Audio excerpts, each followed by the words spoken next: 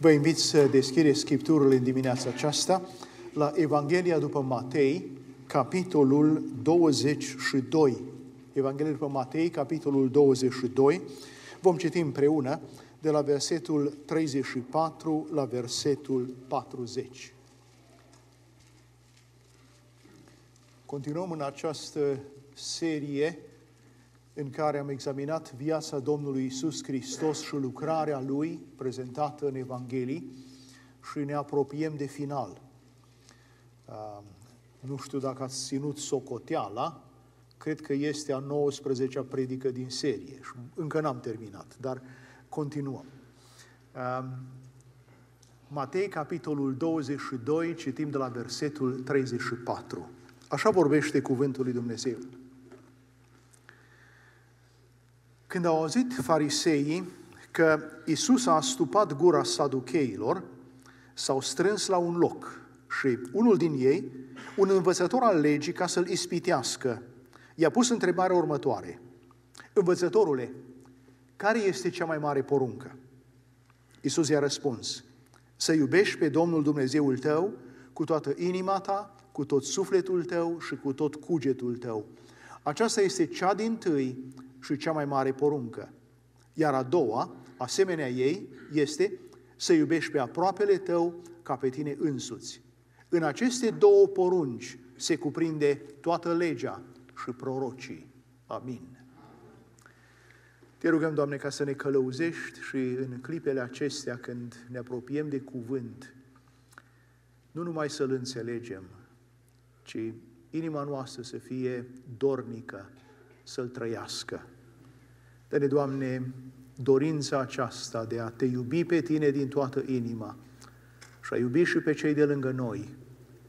Te rog, însuflețește în noi ascultarea de Tine și de cuvântul Tău. Amin. Amin. Vă rog să luați loc.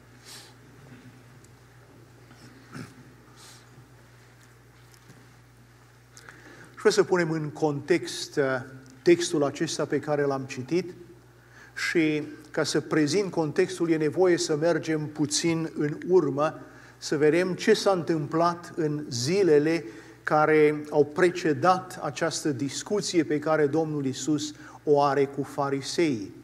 Discuția aceasta este în ultima săptămână a vieții pământești a Domnului Isus pe pământ înainte de patimile sale. Și săptămâna aceasta a început și este marcată de o serie de confruntări. Prima dintre confruntări este la intrarea Domnului Isus în Ierusalim.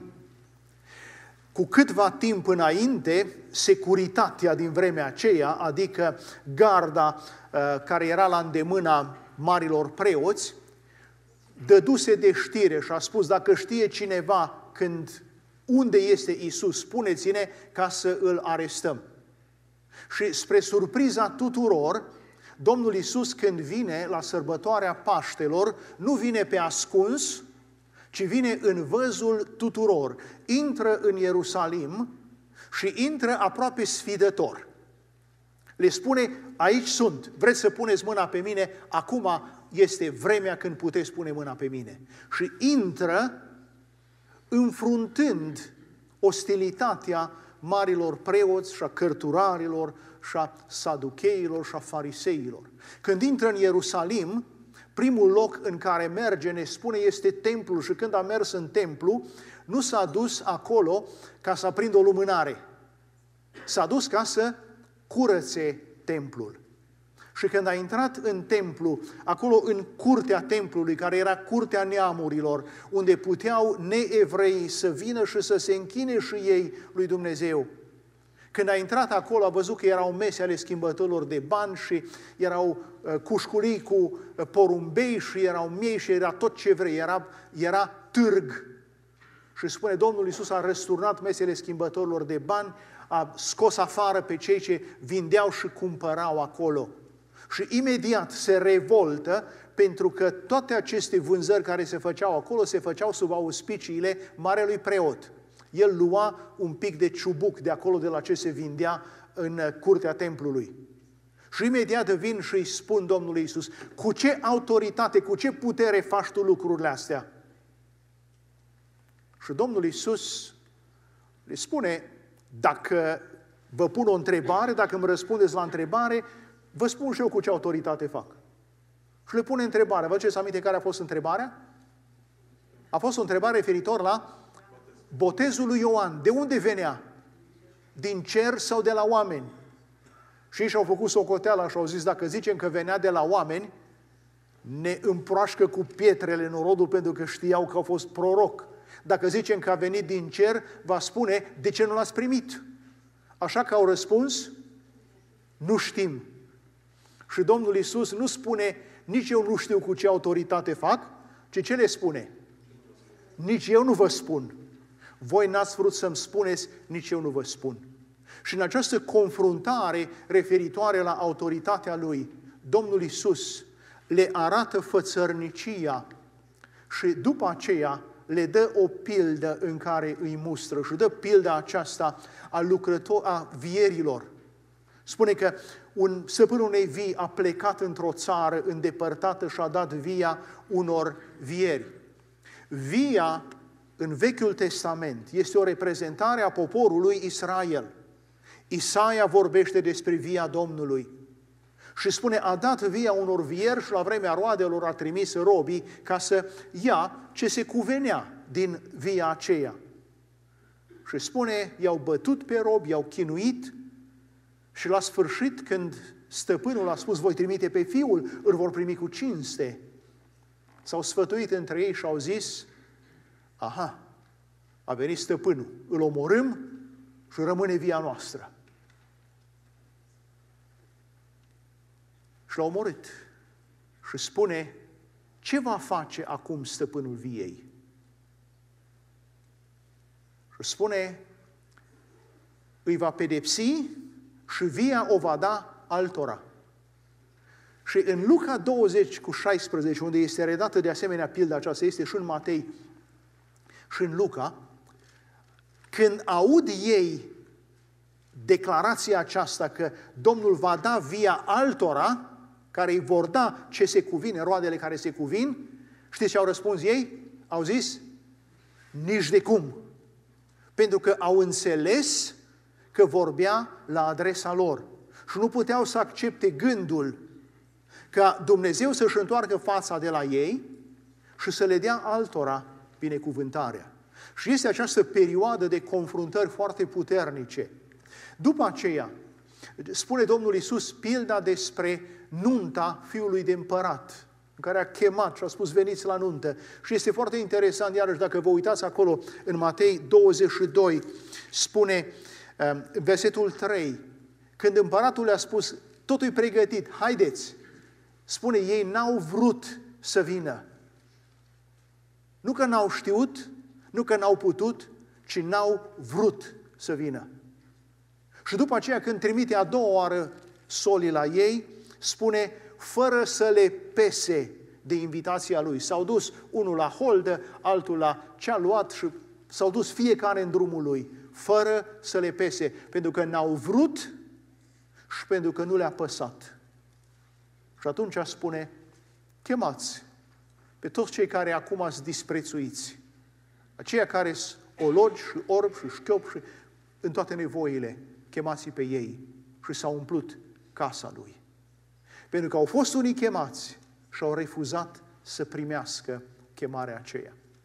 Și după aceea, parcă se intensifică confruntările și îl vedem pe Domnul Isus cum îi întind niște capcane și mă gândeam la o paralelă iarăși cu ispitirea de la începutul uh, slujirii Domnului Isus când diavolul a venit și de trei ori îl ispitește pe Domnul. Și aici, în parcursul câtorva versete, îl vedem pe Domnul Isus testat de trei categorii diferite de oameni.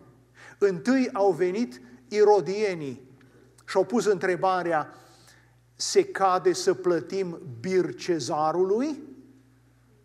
Irodienii erau o partidă politică și au vrut cumva să îl prindă eh, pe Domnul Isus și să-l poată acuza că ar fi împotriva cezarului.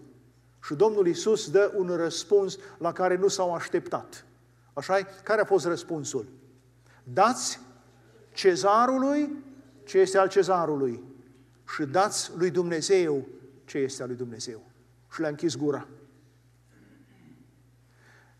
Imediat vin saducheii. Saducheii erau o partidă religioasă care nu credeau în înviere. Din tot Vechiul Testament ei acceptau doar cele cinci cărți ale lui Moise. Și sloganul lor sau motoul lor era uh, cuvântul acesta. Eu sunt Dumnezeul lui Avram, Dumnezeul lui Isaac și Dumnezeul lui Iacov. Ei erau elita în vremea aceea. Saducheii, dintre saduchei, erau mari preoți. Ei erau conducătorii religioși ai țării. Și vin ca să-l prindă pe Domnul Isus cu o întrebare și spun întrebarea aceea despre înviere. Și știți povestea pe care au născocit-o ei, că a fost un om care a avut soție și omul a murit și soția a supraviețuit și atunci, după legea leviratului, trebuia să o ia al doilea frate și tot așa. Și pune o întrebare care au fost sigur că îl prinde pe Domnul Iisus la încurcătură. La învierea cui nevastă va fi? Și Domnul Iisus le atrage atenția că sunt două lucruri pe care ei nu le cunosc și nu le înțeleg. Care sunt cele două? Nu cunosc întâi de toate Scripturile și în al doilea rând nu cunosc puterea lui Dumnezeu. Oamenii care erau mari preoți, oamenii care trebuiau să fie călăuza spirituală a poporului, oameni care nu cunoșteau nici Scripturile și nici puterea lui Dumnezeu. Și Domnul Isus le închide ușor gura, pentru că spune, tocmai versetul care voi spuneți că este versetul vostru, versetul vieții voastre, arată că Dumnezeu nu e un Dumnezeu al celor morți, ci un Dumnezeu al celor vii. Când spune că este Dumnezeul lui Avram, Isaac și Iacov, El este un Dumnezeu al celor vii, pentru că Avram, Isaac și Iacov sunt vii în prezența lui Dumnezeu, au fost înviați. Și atunci fariseii, bucuroși că le-a închis saducheilor gura, că între saduchei și farisei era această tensiune, pentru că fariseii credeau în înviere și farisei erau mai religioși decât saducheii, dar n-aveau puterea, Vin și ei și spune, când au auzit fariseii că Iisus a stupat gura saducheilor, s-au strâns la un loc și unul din ei, un învățător al legii, ca să-l ispitească, i-a pus întrebarea următoare. Care este cea mai mare poruncă din lege? Observați, vă rog, nu i-au pus întrebarea cinstit. Au pus întrebarea cu un scop, ca să-l ispitească, să găsească ceva în vorbele lui cu ce să-l poată acuza.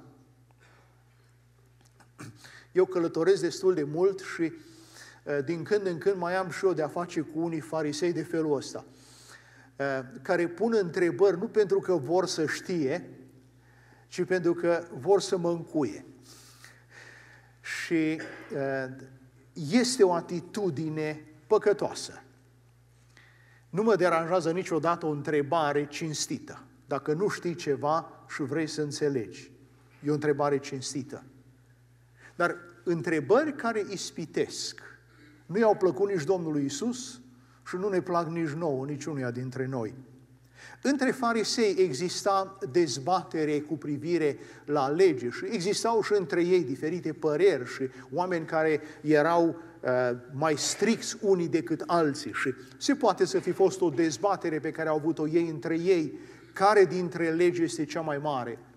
Dar vreau să vă aduc aminte, una dintre acuzele care au fost aduse frecvent Domnului Isus a fost că el calcă legea, care lege? Legea sabatului, așa, legea sabatului. Ei credeau că sabatul este așa de sfânt că nici Dumnezeu nu face nicio lucrare în sabat și stă numai și citește legea în sabat. Foarte stricți. Și nu știu dacă au avut sabatul în gând sau au avut altceva în gând atunci când au pus întrebarea aceasta. E o întrebare, de o parte, o întrebare legitimă. Dacă ar fi să concentrezi esența legii, esența revelației lui Dumnezeu, cum ai putea să o condensezi. Ne uităm și vedem în răspunsul pe care îl dă Domnul Isus că este într-un fel cea mai concentrată, cel mai condensat sumar al întregii legi pe care Domnul a dat-o prin Moise. Vreau să vă aduc aminte că atunci când Domnul Isus a început lucrarea, după ce la început a chemat câțiva ucenici, au mers din loc în loc, a vorbit în diferite locuri în Iudeea, în Galileea.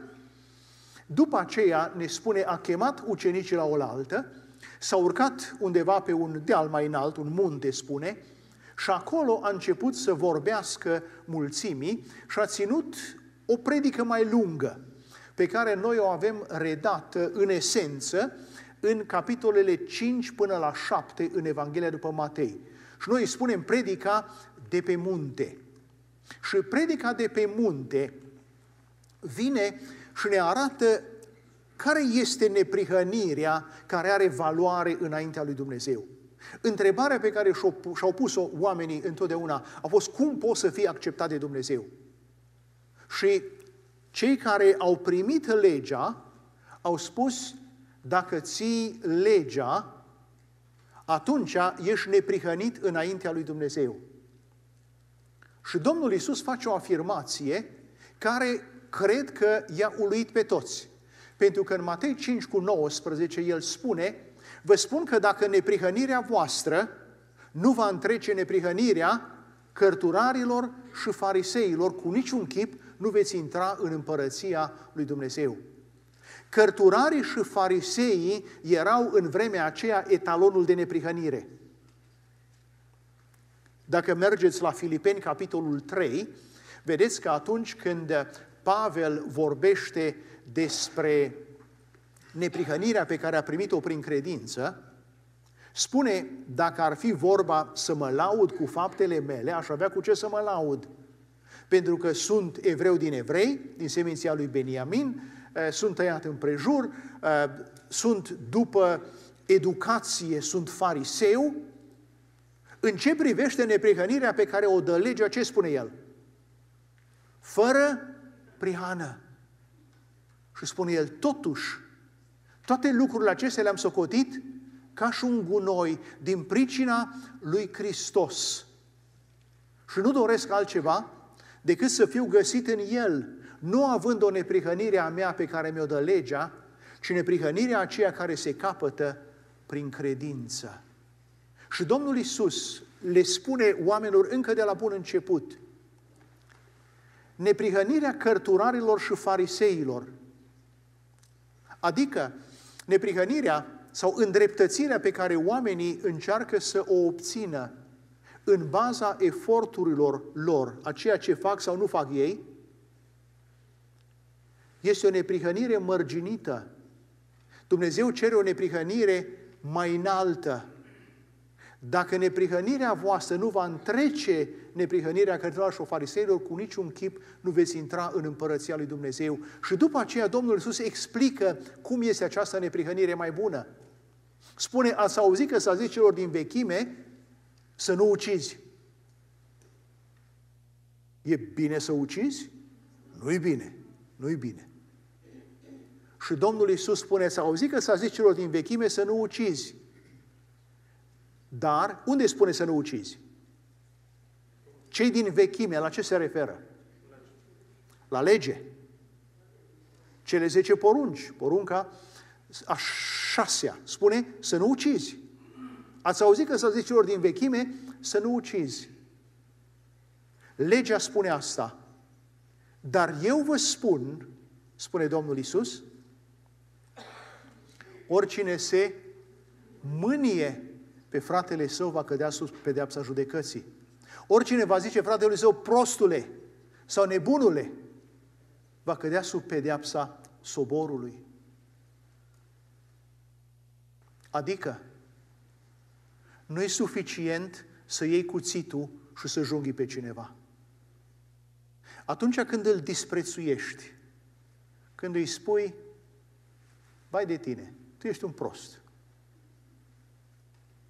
Când îl disprețuiești pe celălalt, ești la fel de vinovat ca și acela care ucide cu cuțitul.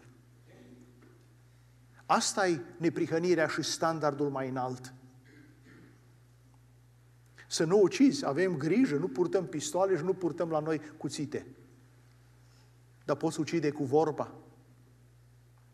Poți ucide cu răutatea limbii.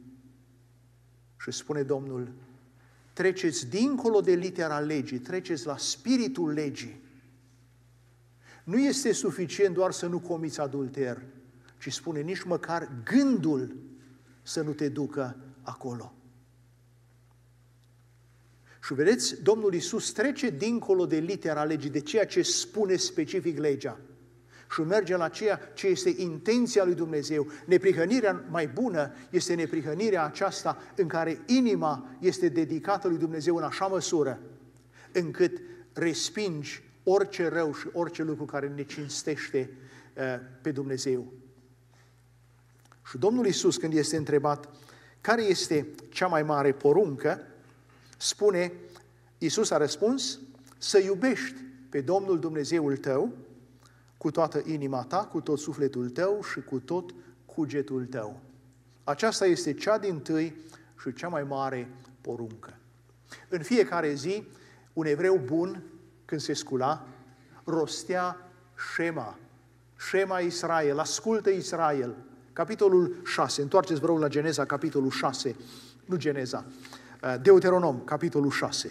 Deuteronom, capitolul 6. Pasajul acesta care este o repetare a învățăturilor pe care le-a dat Domnul. Și spune, ascultă Israele, versetul 3, versetul 4, ascultă Israele, Domnul Dumnezeu nostru este singurul Domn, să iubești pe Domnul Dumnezeul tău cu toată inima ta, cu tot sufletul tău și cu toată puterea ta. În fiecare zi, un evreu bun rostea cuvintele acestea să-L iubești pe Domnul Dumnezeul tău cu toată inima ta, cu tot sufletul tău, cu toată puterea ta. Dacă mergi la greci sau la babilonieni sau la daci, nu vei găsi porunca de a-L iubi pe vreun zeu. Grecii nu aveau porunca, iubește-L pe Jupiter cu, adică iubește-L pe Zeus, grecii, iubește-L pe Zeus cu toată inima ta. Nici romanii n-aveau iubește-L pe Jupiter cu toată inima ta.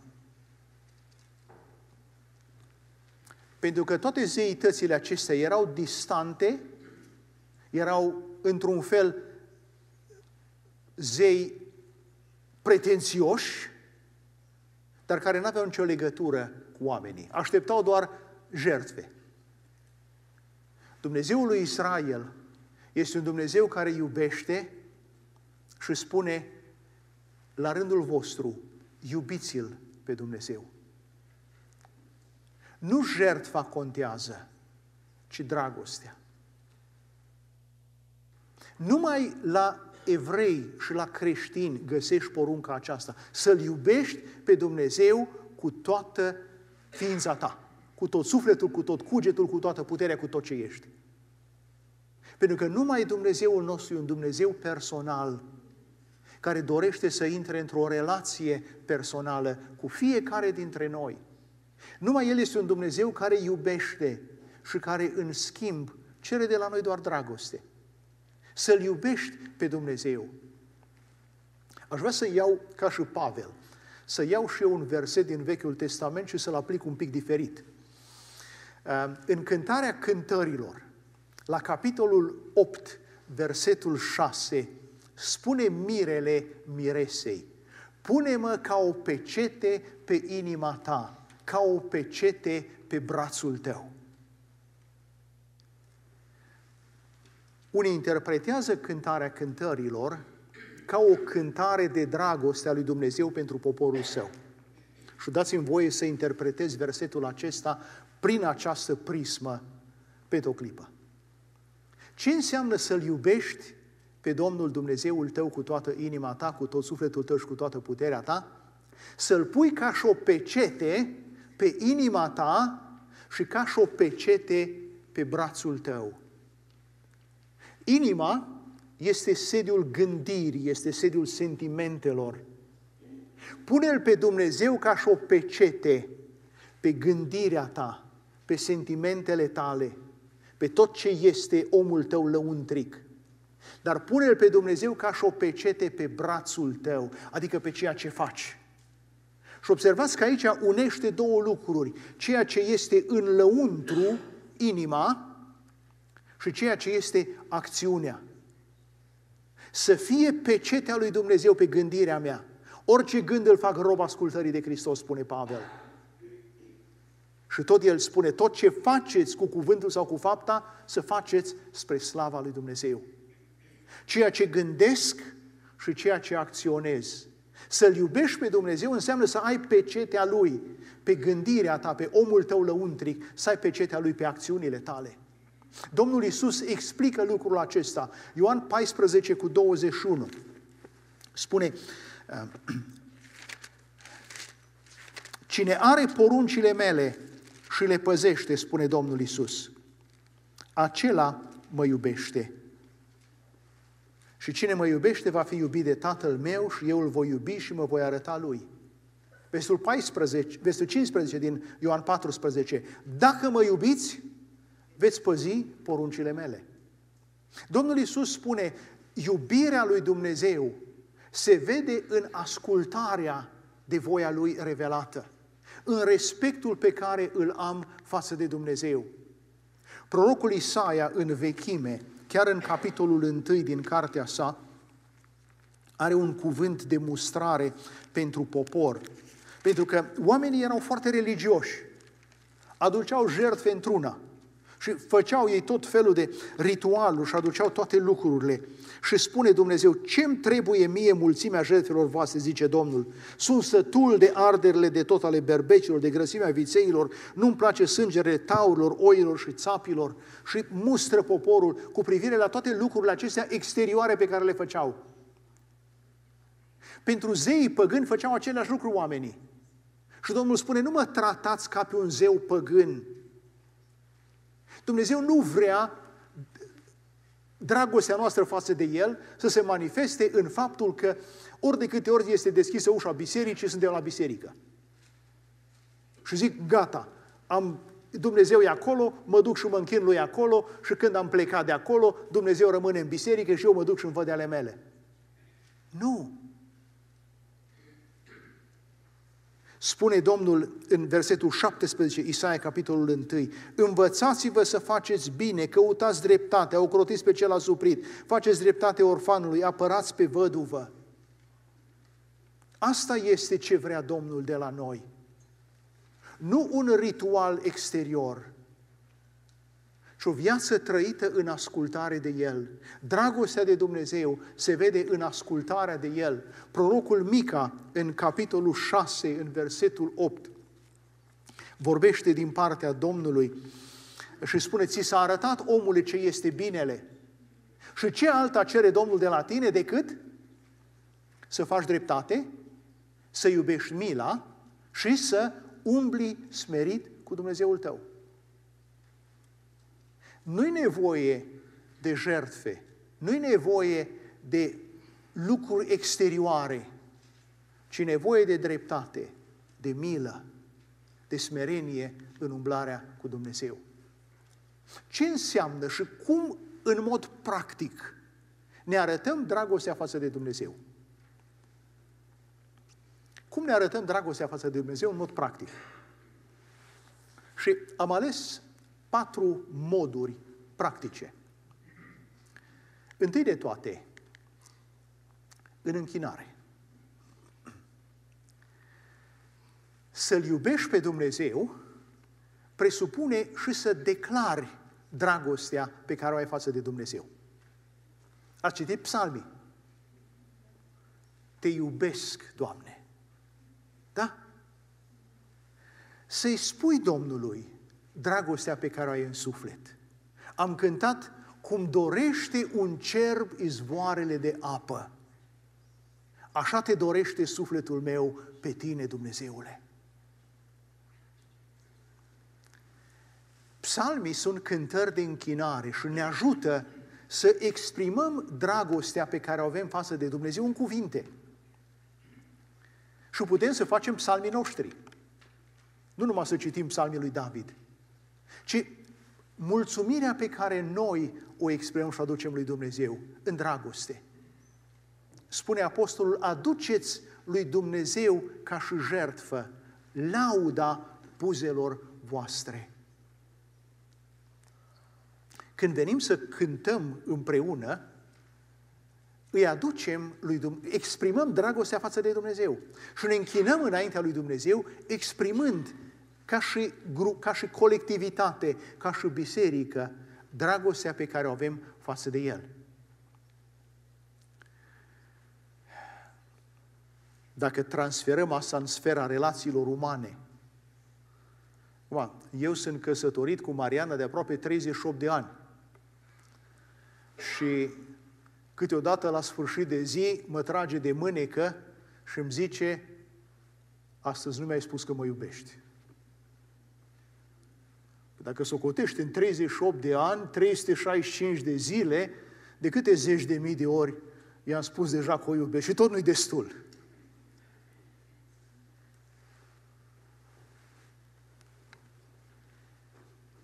De câte ori îi spui Domnului că îl iubești? Când e ultima dată când i-ai spus Domnului că îl iubești? Nu că te temi de El, nu să-ți dea sănătate. Când i-ai spus, Doamne, așa mă bucur că ești Tu Dumnezeu și Te iubesc, Doamne. Te iubesc pentru ce ești Tu și cine ești Tu. Exprimă dragostea față de Dumnezeu în cuvinte. Lasă cântări de laudă să curgă de pe buze. Câteodată când este, sunt frații care conduc și surorile care conduc închinarea sunt aici în față, mai sunt și eu aici cu ei și câteodată mă uit și mi se pare că nu toți se închină. Că sunt unii care cu fața posomorâtă, cum poți să stai cu fața posomorâtă înaintea lui Dumnezeu care e atât de bun? Să-L iubești pe Dumnezeu înseamnă să-i spui și să-i spui lui Dumnezeu dragostea pe care o ai. Dar după aceea, fă timp să stai în prezența lui Dumnezeu.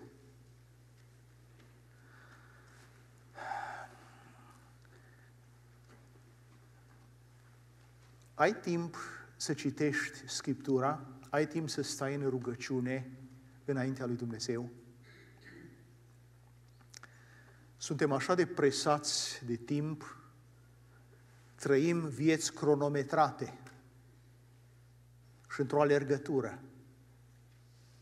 Și parcă întotdeauna lucru pe care îl putem lăsa deoparte este timpul pe care să îl dăm lui Dumnezeu. Am timp să mă uit la Jeopardy, am timp să exersez, am timp să stau pe Facebook, am timp pentru o sută și o mie de lucruri. Dar n-am timp pentru Dumnezeu. Cum pot să-i spun lui Dumnezeu că îl iubesc că nu-mi fac timp să stau de vorbă cu el. Minciună gogonată. Degeaba îi spun, Doamne, te iubesc, dacă nu îmi iau timp să arăt că îl prețuiesc prin faptul că am pus timp deoparte, când să stau doar înaintea Lui. Câteodată trebuie doar să taci înaintea Domnului. Doar să stai liniștit și într-un fel să te bucuri de frumusețea Domnului fără să spui un cuvânt. Dar timp pe care să-l petreci în prezența Domnului. Dacă vă uitați în Evanghelia după Marcu, în capitolul 1, versetul 35, spune despre Domnul Isus, după ce a avut o zi foarte lungă și aglomerată, că până seara târziu au venit oamenii la el să vindece și să învețe și așa mai departe, și spune, a doua zi, pe când era încă întuneric de tot, Iisus s-a dus într-un loc pustiu ca să fie singur și să se roage. ocupația și preocuparea nu e o scuză să n-am timp pentru Domnul. E o acuză. Pentru că înseamnă că pun altceva și socotesc altceva mai important decât îl socotesc pe El. Să-L iubești pe Dumnezeu înseamnă să-i spui că îl iubești. Înseamnă să-ți faci timp să petreci cu El. Iarăși Mariana nu e aici, așa, o iau pe ea iarăși de exemplu. Pentru că foarte adesea îmi spune dacă trebuie să mergi la biserică, s-a stricat ceva, ai timp. De ce nu-ți faci timp pentru mine? Și câteodată are dreptate. Trebuie să vrei să-ți faci timp pentru Dumnezeu. Avem timp pentru multe lucruri. Pentru Cel care ne-a mântuit și Cel care ne iubește. Nu putem să ne punem timp deoparte? Ce înseamnă să-L iubești pe Dumnezeu? Înseamnă să faci ceea ce spune El. Domnul Isus spune, cine are poruncile mele și le înrămează și le pune pe peretele din față, tot să le vadă când intră în casă. Nu. Cine are poruncile mele și le păzește, acela mă iubește. Ne arătăm dragostea de Dumnezeu în ascultarea de El. Prețuiesc atât de mult ce spune El, încât are prioritate față de tot ce spune altcineva. Iau cuvântul Lui ca și o poruncă pentru viața mea și țin seamă și împlinesc cuvântul acela. Ce înseamnă să-L iubești pe Dumnezeu? Înseamnă să te dăruiești pe tine însuți și să-i dăruiești Lui ce ai. Este un cuvânt al Domnului Isus pe care nu-l găsim în Evanghelie și îl găsim în Cartea Faptele Apostolilor. Și cuvântul acela în versetul 35 din capitolul 20 spune, însuși Domnul a zis, ce a zis? Capitolul 20, versetul 35 din Faptele Apostolilor. Ce scrie acolo? Nu știți pe din afară. Ok, vă învăț eu. Spune, este mai ferice să dai decât să primești. Un cuvânt al Domnului Isus care nu e scris în Evanghelii.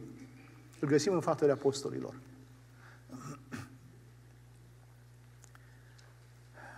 Am fost în săptămânile acestea, am fost vizitați de mai mulți frați care au venit din România, din Uganda, din uh, alte părți și sunt nevoi. Să-L iubesc pe Dumnezeu înseamnă să-mi pese de copiii aceia care sunt acolo în Uganda și care, dacă nu este cineva să-i ajute și să-i ridice, foarte mulți mor până să ajungă adolescenți. Uitați de lume, dar și ei sunt copiii lui Dumnezeu. Și sunt atâtea lucruri. Și Dumnezeu ne-a binecuvântat pe noi să avem pâinea pe masă în fiecare zi și chiar mai mult decât pâine. Avem și unt pe pâine și altceva lângă unt. Avem și șuncă. Și spune cuvântul, să-L iubești pe Dumnezeu, înseamnă să-i vezi pe oameni așa cum îi vede El, ca și copii ai Lui.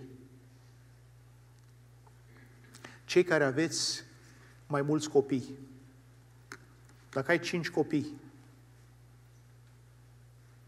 zici vreodată al cincelea, a, n-a fost planificat. Lui îi dau de mâncare numai o dată la trei zile.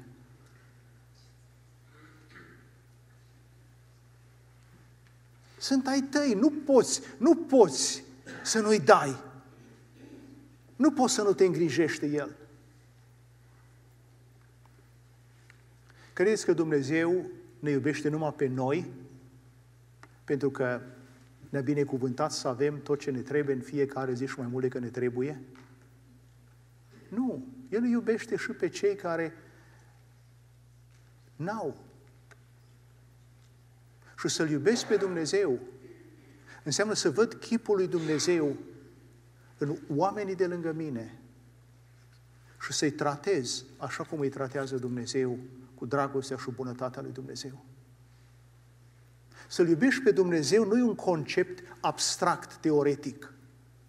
Să-L iubești pe Dumnezeu înseamnă să pui viața ta la dispoziția Lui, să exprimi dragostea în cuvinte, să petreci timp, să împlinești cuvântul Lui, să-ți pese de oamenii pe care El le-a creat. Și Domnul Isus face ceva deosebit. Aici spune, cea din tâi și cea mai mare poruncă este să-L iubești pe Domnul Dumnezeul tău cu toată inima ta, cu tot sufletul tău, cu tot cugetul tău și cu toată puterea ta. Aceasta este cea din tâi și cea mai mare poruncă. Și cea de-a doua, asemenea ei, este să-L iubești pe aproapele tău ca pe tine însuți.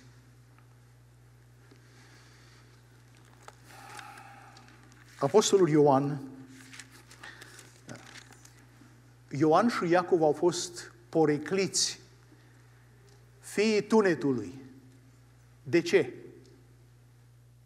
Pentru că au zis odată când niște samariteni au vrut să-i primească la ei în sat, au zis, Doamne, eh, noi vrea să facem cum a făcut Ilie și să chemăm foc din cer să-i trăznească pe samariteni ăștia. Și iată ce scrie Ioan. 1 Ioan, capitolul 4. Noi îl iubim pentru că El ne-a iubit întâi. Dacă zice cineva, eu iubesc pe Dumnezeu și urăște pe fratele său, este un mincinos. Că cine nu iubește pe fratele său pe care îl vede, cum poate să iubească pe Dumnezeu pe care nu-L vede? Și aceasta este porunca pe care o avem de la El. Cine iubește pe Dumnezeu, iubește și pe fratele său. Nu putem separa dragostea de Dumnezeu de dragostea de oameni, de dragostea de frați. Nu putem separa. Dumnezeu le-a legat la oaltă și a spus, a doua poruncă, asemenea primeia, este să-L iubești pe aproapele tău ca pe tine însuți. Domnul Iisus le spune ucenicilor, vă dau o poruncă nouă, să vă iubiți unii pe alții. Cum v-am iubit eu, așa să vă iubiți și voi unii pe alții. Prin aceasta vor cunoaște toți că sunteți ucenicii mei, dacă veți avea dragoste unii pentru alții. în biserica primară un lucru care îi punea în uimire pe păgâni era dragostea frățească. Și spuneau ei, vedeți cum se iubesc? Vedeți cum le pasă la unii de alții? Dragostea. Prin aceasta vor cunoaște toți că sunteți ucenicii mei, dacă veți avea dragoste unii pentru alții. Eu mă ocup de apologetică și apologetica este apărarea credinței, argumente raționale pentru apărarea credinței. Și la argumente raționale sunt și contraargumente. Și poți să intri în dezbateri. E tare greu să argumentezi împotriva dragostei. Cum poți argumenta împotriva dragostei? Când cineva din dragoste îți face un bine, ce mai poți zice? Nu poți zice decât mulțumesc. Și să fii înfrânt de dragostea aceasta altruistă. Apostolul Pavel în Romani, în capitolul 13, în versetul 10, spune că Dragostea este împlinirea legii. De fapt, să nu prea curvești, să nu furi, să nu faci o mărturie mincinoasă, să nu poftești și orice altă poruncă mai este, poate să fie cuprins în porunca aceasta. Să iubești pe aproapele tău ca pe tine însuți. Dragostea nu face rău aproapelui său. Dragostea este împlinirea legii. Domnul Iisus spune, toată legea și prorocii derivă din aceste două porunci fundamentale. Să-L iubești pe Dumnezeu cu toată ființa ta și să-L iubești pe aproapele tău ca pe tine însuți. Dar porunca a doua derivă și ea din prima. Îl iubești pe Dumnezeu și pentru că îl iubești pe Dumnezeu, iubești și pe cei pe care El i-a creat. Dumnezeu este dragoste. Și cine nu iubește, înseamnă că nu l-a cunoscut pe Dumnezeu. Dar când iubești pe aproapele tău, când împlinești porunca aceasta pe care o dă Domnul Isus, arăți că de fapt ai cunoscut cu adevărat dragostea. Care e cea mai mare poruncă? Au venit fariseii la Domnul Isus, poate căutând să găsească un subterfugiu, să vadă dacă sabatul e mai mare sau dacă... Ă, care e porunca cea mai mare? Porunca cea mai mare este să-L iubești pe Domnul Dumnezeul tău cu toată inima ta, cu tot sufletul tău, cu tot cugetul tău, cu toată puterea ta. Și întrebarea pentru noi este, îl iubim noi pe Dumnezeu așa? Observați, Domnul Iisus nu spune sugestia mea cea mai importantă pe care să vă dau, e asta. Ci spune, este cea din tâi și cea mai mare poruncă. Poruncă. Mă rog și zic, Doamne, ajută-ne să te iubim într-adevăr așa, cu toată ființa, cu toată inima, cu tot sufletul, cu tot cugetul, cu toată puterea noastră. Porți pe cetea lui Dumnezeu pe gândul tău, pe brațul tău. Este fiecare gând al meu adus rob ascultării de Hristos? Este lucrul meu în fiecare zi făcut ca să-L onoreze pe Hristos? Este dragostea mea un răspuns la dragostea Lui? Versetul care rezumă Evanghelia, Ioan 3 cu 16, spune atât de mult a iubit Dumnezeu lumea, încât ce a făcut? A dăruit, a dat pe singurul lui Fiu, pentru ca oricine crede în El să nu piară, ci să aibă viață veșnică. Dragostea dăruie, dragostea recuperează, dragostea ridică. Și dragostea aceasta e dragostea care ne-a cucerit și pe noi. Venim la Domnul Isus și nu vrem să-i punem întrebarea ca și farisei, care e porunca cea mai mare? Vreau să venim și să-i spunem, Doamne, pentru că ne vrei să te iubim din toată inima. Pe Duhul Tău cel Sfânt lucrează în noi capacitatea aceasta de a te iubi, de a ne dărui, de a fi trup și suflet pentru Tine. Să răspundem la dragostea Lui cu dragostea noastră totală. Ajută-ne, Doamne, să trăim așa. Amin. Amin.